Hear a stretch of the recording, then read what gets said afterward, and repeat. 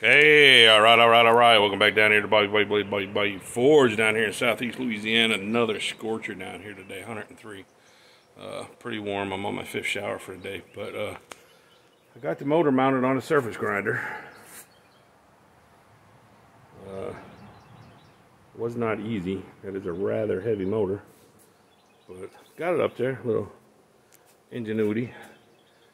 So uh, let me tell you the way the day went. So I got it all up there and I did a test run with no wheel on it and found that the uh, the motor was running backwards. It was running this way. It's no good because all the threads that hold everything onto the shaft are left-handed threads. So everything backed off, which was no big deal because there was no wheel on it. So uh, with my electrical background, this is a capacitated motor, which means there's a capacitor on it. So I just took the junction box apart. And there's a sticker down here that tells you if you want to reverse it, just switch two leads. So I switched two leads. And you can do that on a lot of single phase motors that have a capacitor start. Regular single phase without a capacitor, you can't reverse rotation. Capacitor, you can. So uh, I did that. I tested it. Ran great. Clockwise. Zub, zub, zub, zub, zub, zub. Real good. Everything was running real nice. I mounted the wheel on it.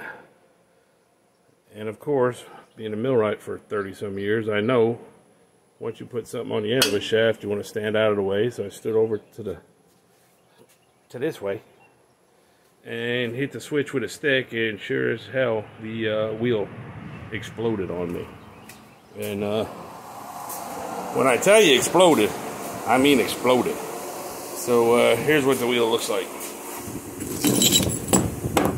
and I had safety glasses and everything on, but it blew apart.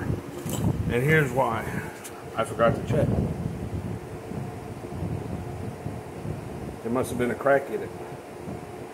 So when it started up, it just went, it just went crazy. Uh, so we're gonna get another wheel, make sure there's no cracks in it, and uh, we will start again. Uh, I'm pretty sure it's going to work real good. I just got to get online and order a good wheel. This wheel might have been dropped. Uh, who knows what can crack a wheel, but one little crack and uh, it's a done deal. So that's where we stand. Uh, the next project is going to be the milling machine. I might start that tomorrow. Don't know. Uh, it depends. It's all shop work from here on out.